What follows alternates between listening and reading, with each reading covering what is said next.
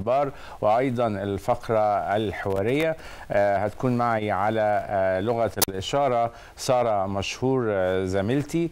النهاردة عاد إلى أرض الوطن الرئيس عبد الفتاح السيسي من مشاركته في القمة الثانية الروسية الأفريقية وهي أقيمت من 27 إلى 29 في مدينة سان بطرسبرغ في روسيا.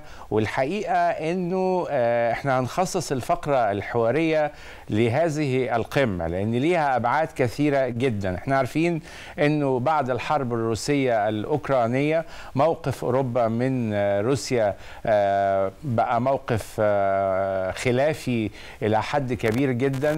وأيضا واشنطن يعني أمريكا الولايات المتحدة الأمريكية مع روسيا وبيدعموا أوكرانيا. النهاردة وخلال اليومين اللي فاتوا دول هنشوف حتى الرئيس بوتين كان بيذكر أكثر من مرة أنه سيتعاون وبقوة حتى تأخذ القارة الأفريقية وضعها ويبقى في شراكة قوية. قبل كده القارة الأفريقية كان ينظر إليها أنها غنيمة أنها نوع من الثروات التي ينبغي أن تذهب إلى بلاد أخرى. وكان بيحصل ده.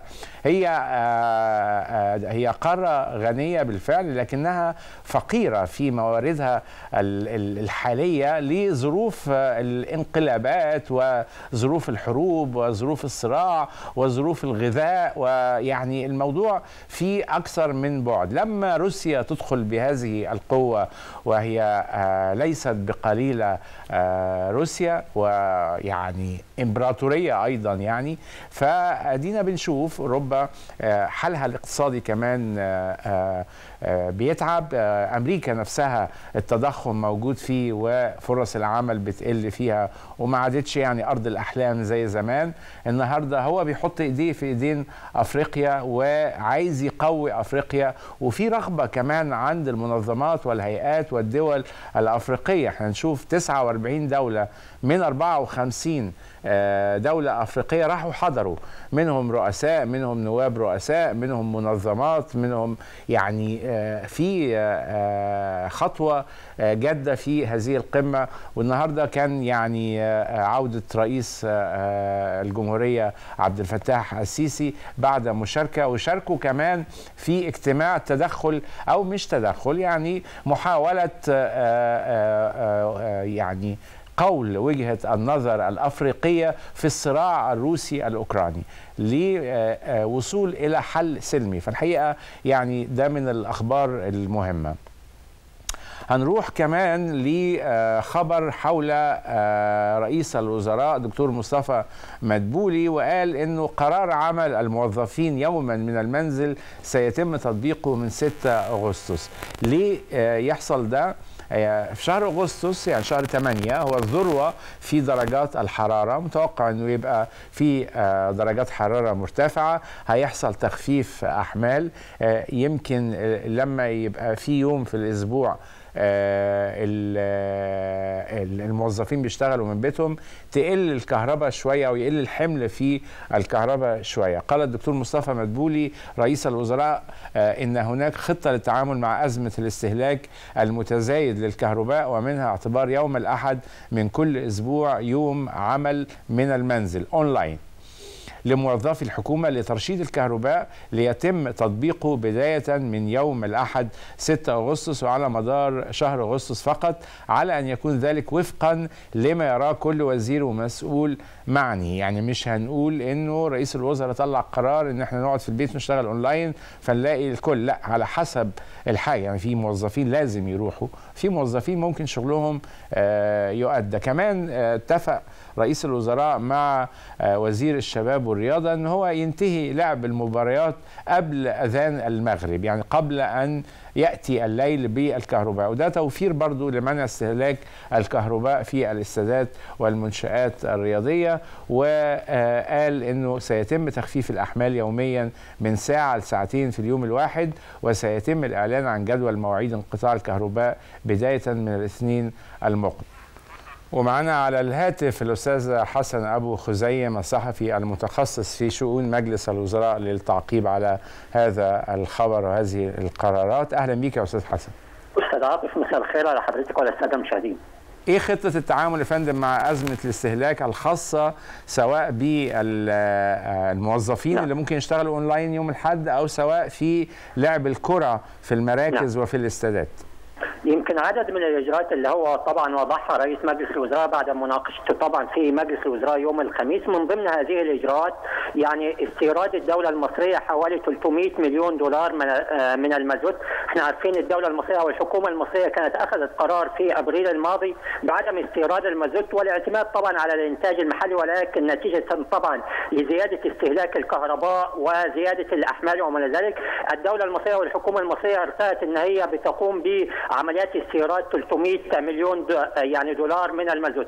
القرار الثاني زي ما حضرتك تفضلت يعني موضوع المباريات آه، يعني بالاتفاق طبعا مع وزير الشباب والرياضة أن تكون قبل يعني ال- المغرب عشان طبعا تخفيف الأحمال في الاستادات والنوادي وما إلى ذلك ده شيء مهم جدا. القرار طبعا اللي هو يمكن آه، غالبية الموظفين بيسألوا عليه بداية طبعا من يوم الأحد اللي هو يوم 6 يعني 8 بيكون العمل بنظام آه، الاونلاين أو من المنزل بالنسبة للموظفين اللي هم لا يتعاملوا مع الجمهور، أنا دلوقتي موظف وبتعامل مع الجمهور. يعني موظف وجاي المواطن بيقدم لي شكوى وبيطلع لي شهادة ميلاد، طبعا هذا الأمر طبعا آه، لا يتم ولكن كل موظف لا يتعامل مع الجمهور بيكون هو يعني بيشتغل من خلال المنزل بداية من يوم الأحد 6 8 الأحد من كل أسبوع. وحتى نهاية شهر آه، يعني أغسطس. وده طبعا آه، ده قرار متروك لكل وزارة. الوزارة بتحدد الجهات اللي هي بيتم هذا التعامل وعدد الموظفين اللي هم بيتعاملوا مع هذا الأمر. لأن الواحد لاقي من خلال النهارده وامبارح هناك عدد كبير من المواقع نشرت إن هو تم يعني آه، إصدار قرار بالجهات ويمكن البعض قال 16 جهة والبعض الآخر قال 18 جهة ولكن كل وزارة بتحدد عدد الجهات وعدد الموظفين اللي هم أستاذ حسن يعني هو السؤال هنا يعني الناس عايزة تفهم إيه العلاقة بإن الموظف يقعد يعمل اونلاين يوم الحد وتخفيف العبء على الكهرباء. ما هو اللي بيروح المؤسسة ده؟ لو راحوا خمسة مكان عشرة المؤسسة بتفتح الكهرباء هي هي بتفتح التكييفات هي هي. يعني إيه العلاقة؟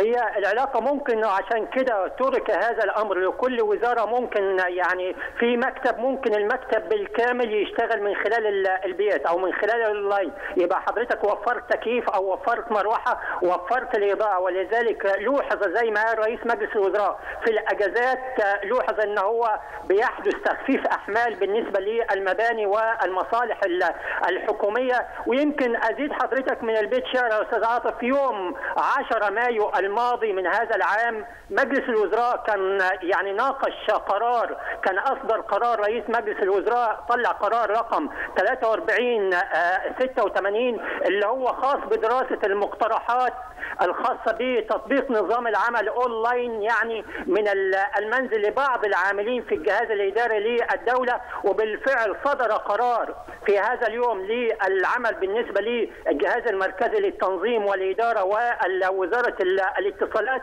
ك- ك- كتجربة لمدة ست شهور. وفي حالة نجاح يعني هذه ال- التجربة ممكن يتم التعميم بعد ذلك لمن لا يتعامل مع ال- الجمهور لأن هناك طبعا تغييرات كبيرة في نظام العمل على مستوى ال- العالم ويمكن بعض التقديرات بتقول لك والله حوالي 80% من ال- الموظفين دول ما بيتعاملوش. طبعا مع الجمهور ممكن يشتغلوا من عن طريق الاونلاين أو نظام العمل من المنزل. هو نعم. المهم بس يعني إنه إنه تمشي في المؤسسات بشكل آه، لطيف يعني القرار كويس لكن تمشي بشكل لطيف لأنه يعني برضو الجهاز الإداري أساسا مكدس فمش هتفرق إن شوية يقعدوا يعملوا شغلهم أونلاين بس المهم إن مصالح الناس تمشي لأنه ما هو يعني عايزين الناس بتروح على- المكان وهم موجودين واحيانا بيتعطلوا فما بالك عايزين بقى نأكد على الجزئية دي يا أستاذ آه. إن إن أي واحد دلوقتي يروح مصلحة حكومية بيلاقي الموظف يقدم له الخدمة يعني مثلا عاوز أقدم شكوى عاوز أطلع يعني حاجة كده فيها تعامل مع الجمهور يدا بيد إن أنا رايح ومتأكد إن هذا الموظف موجود وهو ده اللي أكد عليه مجلس الوزراء. يعني أي موظف لا يتعامل مع الجمهور ده ممكن يشتغل مع من البيت ولكن الموظف دلوقتي بيتعامل مع الجمهور والمواطن لا ده هو قاعد في المكتب وبيقدم الخدمة عشان ما يتعطلش هذا المواطن. هل معنى كده إنه يتردد مثلا من يعني أخبار عن درجات حرارة ممكن تكون الأسخن في شهر 8 آه زي آه يعني بعد الاطلاع طبعا مع الجهات المعنية وهيئة الأرصاد الجوية قال قالوا رئيس مجلس الوزراء والحكومة بالفعل يعني هناك ارتفاع في درجات الحرارة آه يعني وعشان كده تم اتخاذ هذا القرار يعني عملية تخفيف الأحمال حتى يعني نهاية أغسطس المقبل بالإضافة لو استمرت هذه الحرارة عند 36 أو عند 36 درجة هتستمر معانا عملية تخفيف الأحمال الأسبوع الأول والثاني من سبتمبر المقبل. نتمنى من الله ولكن يمكن يعني أمين عام أو مدير عام الأمم المتحدة لما قال والله نحن دخلنا عصر الغليان العالمي نتيجة يعني تغير المناخ وقال إن شهر يوليو هو الأصعب يعني. على اعتبار طبعا شهر يوليو هو الاصعب وكذلك يعني للأسف شهر أغسطس يعني بيقال إن هو زيه زي يعني يعتبر ذروة الحرارة يعتبر في في أغسطس. تمام. أنا بشكرك أستاذ حسن أبو خزيم صحفي المتخصص في شؤون مجلس الوزراء. نستحمل بعض يا جماعة يعني الحر يعني على كل العالم البلاد كثيرة جدا الولايات المتحدة الأمريكية فيها ولايات درجات حرارها حرارتها فظيعة. اليونان كده اللي بيتابع يعني الموضوع ملوش علاقة بينا كمنطقة. آه طبعا يعني آه آه المسألة صعبة لكن خلينا نستحمل بعض المرحلة دي وخلينا بقى نطلع نشوف ونرجع نواصل فقرتنا الإخبارية. يعني بمناسبة مصر جاية كمان أنا بس عايز أشيد باللي بيحصل في مدينة العالمين لأنه آه يعني آه مصر لما تعمل مدينة زي مدينة العالمين ومدينة ترفيهية وتبتدي تعمل حفلات لا يعني آه دي مصر بقى. يعني مفيش حد يقدر ينافسها في الجزئية دي. وأتمنى إنه يعني الموضوع يكبر ويزيد أكتر من كده. نتمنى نشوف الملك لير نشوف مسرحيات المسرح القومي على في العالمين نتمنى نشوف حفلات كبيرة وفنانين بيتجولوا مع الناس ويعملوا ترويج لهذه المنطقة. يعني يعني عايزين عايزين حركة فنية للقوى. الناعمة نشوف باليه نشوف مسرح نشوف عمر خيرت نشوف علي الحجار نشوف محمد منير نشوف العالمين. يعني مدينة بتتلألأ لأن هي فعلا تستحق والمهرجان بيزين في السماء بطيارات كمان تستقبل الوافدين إلى مدينة العالمين. لا دي مصر يا جماعة مصر يا جماعة. واللي فات ده مرحلة كانت بناء ينبغي. خلينا نشوف النصف الممتلئ من الكوب. طبعا ناس كثيرة بتتكلم على الثانوية العامة وأعلنت وزارة التربية والتعليم والتعليم الفني مؤشرات ونسب النجاح في مواد الثانوية العامة 2023 وكانت كالتالي. نسبة النجاح في امتحان الثانوية العامة لمادة الكيمياء بلغت 88.9 يعني 89% تقريبا. نسبة عدد الطلاب الحاصلين على درجة 95% من الدرجة الكلية تبلغ 2.4 من 10% من إجمالي عدد الطلاب الذين أدوا امتحان الكيمياء. نسبة النجاح في امتحان مادة التاريخ اللي كنا يعني كلنا فاكرين انها كانت صعبة بلغت 90.2 من 10% في المية واللي حاصلين على درجة 95% من الدرجة الكلية في مادة التاريخ بلغت واحد من عشرة في المية. عموما يعني هي نسب هتعرفوا تقروها على النت لكن خلينا ناخد بشكل عام الوضع إيه مع الأستاذ الصحفي الكبير أستاذ رفعت فياض مسؤول ملف التعليم. برحب بيك يا أستاذ رفعت. أهلا بيك أستاذ عاطف أهلا وسهلا. الأرقام مرضية لحضرتك كراصد ومتابع للعملية التعليمية على مدار السنوات اللي فاتت؟ مرضية تماما يا أستاذ عاطف ويمكن دي يعني إن شاء الله تظهر في آه، عند إعلان النتيجة آه، بشكل عام خلال آه، 24 ساعة. وبالتحديد إن شاء الله هتعلن بكرة في آه، مؤتمر صحفي لوزير التربية والتعليم. نعم. ونسبة النجاح العامة ستكون مفاجأة للجميع مم. السنة اللي فاتت كانت اقتربت نسبة النجاح في الثانوية العامة إلى حوالي 75% يعني هي ما كملتش لحد 75% مم. لكن هذا العام ستكون نسبة النجاح 78% ده كلام جميل زيادة مم. 3% عن العام الماضي. اللي حاصلين على 95% فأكثر دول هيمثلوا ما يقرب من 2.5% من إجمالي طلاب الثانوية ثانوية العامة الناجحين هذا العام. ده بيؤكد إن شكل الهرم بتاع نتيجة الثانوية العامة بدأ يتعدل لأن آه، يمكن قبل ثلاث سنوات وأربع سنوات من الآن كان الهرم ده مقلوب مم. وكان الحاصل على 90% فحتى 100% كان بيصل إلى 38.5% مم. وبالتالي كان بيعطي انطباع كاذب لمجاميع عالية بتحبط الأولاد لما يجوا يتقدموا لمكتب التنسيق والطالب يجي يلاقي نفسه وهو حاصل على 98 في المية مش عارف يدخل، آه. مكان في كلية زي كلية الطب نعم إن وبالتالي مع تطبيق نظام الاختيار المتعدد في الامتحانات وأيضا عدد الأسئلة في هذا الشكل واللي بيصل ما بين 40 إلى 50 سؤال في المادة مم. بنظام صح أو غلط أو اختار الإجابة الصحيحة ده آه، ما بيتيحش الطالب إن هو ينشن في الإجابات مم. لابد يكون ملم بالمقرر من. بدايته لنهايته وبالتالي آه، آه، يبدأ الطالب لو هو فقد عدة أسئلة ما قدرش يجاوب عليها لكن آه بينجح في المادة لكن لا يحصل على درجات نهائية لأن كانت تولدت لدينا ثقافة مجتمعية لدى الطلاب وأثناء الامتحانات انه يخش الامتحان لو ما قفلش المادة يعتبر المادة فيها نوع من الصعوبة وفوق مستوى الطالب تمام. العادي. طب أستاذ رفعت يعني ال ال ال ال في الحلقة الوصل ما بين الثانوية العامة وما بين التعليم العالي في في مكتب التنسيق يعني هو ما فيش تفكير لإضافة لتغيير لتبديل طريقة. يعني في ناس كتيرة قوي على مدار السنين من المتخصصين حتى في شؤون التعليم يعني اتكلموا على فكرة مكتب التنسيق والقدرات والطالب عايز إيه وينفع في إيه. يعني هنا ما فيش تفكير جاد في الموضوع؟ شوف يا أستاذ عاطف هو في مجموعة كليات شرط القبول فيها ضرورة اجتياز اختبارات قدرات. قدرات. تمام. اللي هي بتتم حاليا دلوقتي وهتنتهي يوم 3 أغسطس مم.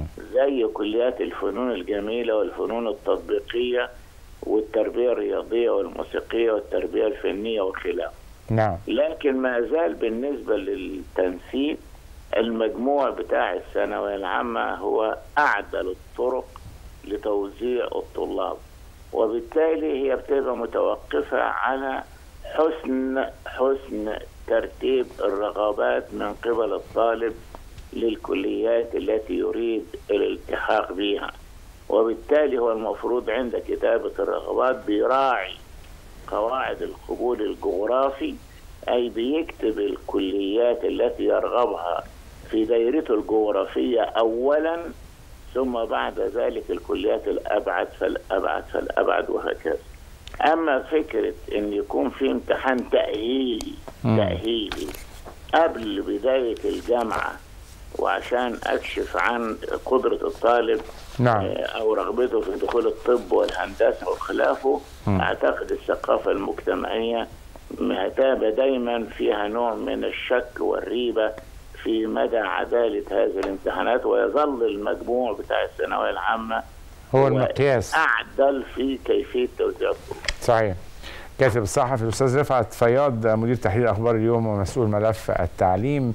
أه بشكرك شكرا جزيلا. هنطلع فاصل ونرجع ناخد آخر خبر عن الحر. من التوقعات اللي عملتها هيئة الأرصاد وأعلنت عنها الحقيقة إنه النهارده يشهد يعني انخفاض طفيف في درجات الحرارة بس ما زالت الرطوبة عالية جدا وده اللي بيخلي إحساسنا بالحر أكتر بكتير جدا. بتتوقع إنه يشهد اليوم هيئة الأرصاد يشهد اليوم السبت انخفاض طفيف في درجات الحرارة على كافة الأنحاء مع استمرار الارتفاع في نسب الرطوبة ليسود طقس شديد الحراره رطب نهارا على القاهرة الكبرى وجه البحري جنوب سيناء جنوب الصعيد حار رطب على السواحل الشمالية مائل للحرارة رطب ليلا على كافة الأنحاء. معنا على الهاتف دكتوره منار غانم عضو المركز الإعلامي بالهيئة العامة للأرصاد الجوية. برحب بيك يا دكتورة منار. أهلا بيك أستاذ عاطف. أنا مشتاق يا دكتورة منار للمكالمة اللي تقولي لي فيها ويتوقع آه يعني هيئه الأرصاد سقوط أمطار وجليد ويعني نفسنا مرة نعمل مداخلة على البرد بقى. ان شاء الله مع فصل الشتاء بإذن الله لكن طيب. إحنا الحمد لله درجات الحرارة يمكن النهارده بدأت تكون أقل حدة بدأت تنخفض درجات الحرارة. يمكن لنا من فترة الصباح وإحنا استشعرنا اختلاف درجات الحرارة عن الأيام الماضية. آه. انخفضت درجه الحرارة بمعدل من درجتين لأربع درجات في معظم أنحاء الجمهورية. اليوم العظمى على القاهرة الكبرى سجلت 35 درجة مئوية. الأيام الماضية كنا بنسجل 39 و40 درجة مئوية. فحصل انخفاض في درجات الحرارة لكن إحنا طبعا شهر 8 بيكون ذروه فصل الصيف بسبب ارتفاع نسب الرطوبه فنسب الرطوبه لسه مكملة معانا خلال الأيام القادمة. هي اللي بتعلي أحساسنا بدرجات الحرارة وبتزود أحساسنا بدرجات الحرارة بنتأثر بامتداد منخفض جوي في طبقات الجو العليا. المنخفض الجوي الموجود في طبقات الجو العليا بيساعد على انخفاض درجات الحرارة ويساعدنا إن إحنا ما نحسش بنسب الرطوبه الموجودة في الجو بالشكل الكبير. الأجواء أو متوسط درجات الحرارة العظمى على القاهرة الكبرى المقاصة الظل هتكون خلال هذا الأسبوع ما بين 36 و 35 درجة مئوية. وإحنا نعتبر أعلى من المعدل بحوالي درجة لكن طبعا هو أقل حدة من الأيام الماضية. وعلى مدار هذا الأسبوع كله ما فيش ارتفاعات ملحوظة في درجات الحرارة زي ما قلنا متوسط درجات الحرارة 35 ل 36 المحسوسة نتيجة ارتفاع نسب الرطوبة ممكن توصل ل 38 39 وطبعا إحساسنا بيها هيكون أقل من الأيام الماضية بشكل كبير. وجود نشاط نسبي للرياح فترات الليل وساعات المساء ده هيقلل إحساسنا بنسب الرطوبة ويساعد إن إحنا نحس بانخفاض درجات الحرارة بشكل كبير خلال فترات الليل. آه كمان طبعا متوقع تكون لشبوره مائية فترة الصباح الباكر ساعات الليل المتأخر على أغلب الطرق الزراعية والسريعة والقريبة من المسطحات المائية. وبتؤدي لانخفاض في الرؤية الأفقية فترة الصباح الباكر. بصفة عامة الحمد لله الأجواء استقرت بشكل كبير وعدنا للأجواء الصيفية المعتادة. إحنا دايما متعودين فصل الصيف بقى وشهر 8 اللي إحنا كنا فيه خلال الأسبوعين الماضيين. أنا أنا عايز أسألك على شهر 8 أخباره إيه؟ أخينا بقى أغسطس معانا يعني إحنا داخلين بعد يومين على شهر 8 أخباره إيه؟ هو طبعا شهر 8 دايما معروف إن هو ذروة فصل الصيف بسبب الارتفاعات الكبيرة في نسب الرطوبة فإحنا مكملين في شهر 8 ارتفاعات ملحوظة في نسب الرطوبة. بالاضافه كمان إن إحنا خلال هذا العام معدل درجات الحرارة أو متوسط درجات الحرارة في فصل الصيف في شهر 7 أو حتى كمان شهر 8 أعلى من المعدل الطبيعي بسبب فعل ظاهرة النينيو اللي بتأثر علينا خلال هذا العام وكمان ظاهرة الاحتباس الحراري والتغيرات المناخية. فعلى مدار شهر 8 هيكون في موجات شديدة الحرارة. ممكن ترتفع فيها درجات الحرارة بالشكل الكبير لكن مش هتكون بنفس المدة اللي إحنا شفناها خلال شهر سبعة. يمكن إحنا في شهر سبعة شفنا تقريبا حوالي أسبوعين متصلين ارتفاعات ملحوظة في درجات الحرارة. في شهر 8 إن شاء الله المتوقع إن إحنا نشهد موجات ارتفاع في درجات الحرارة لكن مش بنفس الاستمرارية اللي إحنا شفناها في شهر سبعة. ومتوقع إن درجات الحرارة تكون أعلى من المعدلات بحوالي درجة لدرجتين. إحنا بنتكلم من المعدل أو متوسط درجات الحرارة في 8 بتكون 35 درجة مئوية. يعني إحنا خلال هذا العام هتكون ما بين 36 37 أعلى من المعدل بحوالي درجة لدرجتين بسبب طبعا فكرة التغيرات المناخية اللي إحنا بنشهدها. مهم جدا في فصل الصيف عامة لازم ناخد بالنا من التعرض المباشر لأشعة الشمس فترة الظهيرة تحديدا من 12 الظهر لحد الساعة 4 العصر. الوقت ده اللي دايما بتسجل فيه أعلى درجة حرارة على مدار اليوم وكمية الإشعاع الشمسي اللي بتوصل الأرض أو شدته عالية بشكل كبير. فبقدر الإمكان نتجنب أشعة الشمس المباشرة لو أنا في الشارع يكون معايا غطاء للرأس. شمسية أو كاب أي شيء. وشرب مية طول الوقت. طبعا طبعا. نتناول قدر كبير من المرطبات والسوائل وأهمهم المية. ازازه المية تبقى موجودة في إيدي على مدار اليوم. الملابس بقدر الإمكان تكون ملابس قطنية فضفاضه فتحت اللون. ولو أقدر أكون موجود في أماكن جيدة التهوية ده هيساعدني بشكل كبير على عدم الإحساس بنسب الرطوبه ويا ريت الملابس يبقى فيها مية كمان. لا أنا بهزر معاكي طبعا. دكتوره دكتوره منار غانم عضو المركز الإعلامي بالهيئه العامة للأرصاد الجوية. بشكرك شكرا جزيلا. انتهت فقرتنا الإخبارية بعد الفاصل. أستاذ هاني فاروق آه، نائب رئيس تحرير الأهرام. هنتكلم على القمة الروسية الأفريقية الثانية وهي قمة إنسانية غذائية يعني بالمق... آه، اقتصادية. بالمقام الأول هي إنسانية لأنه يعني الحقيقة كمان القرارات اللي اتخذت إنه آه، آه، الحبوب تصدر عوضا عن الحبوب اللي, ما بتجيش من أوكرانيا تصدر من روسيا إلى آه، أفريقيا مجانا كمان واختاروا أول ست دول الأكثر احتياجا لهذه الحبوب من القرارات الشجاعة ومن القرارات ال- الجيدة. وكمان بوتين وتصريحه بأنه آه، سيعمل على تقويه القارة الأفريقية في المرحلة القادمة. كل ده يقول لك السياسة بتتغير إزاي والقارات مش على طول يعني القارة ال- العظمى آه، تبقى عظمى لأ في السياسة كل شيء يجوز ودوام الحال من المحال حتى في السياسة. هنشوف بعد الفاصل هذا اللقاء.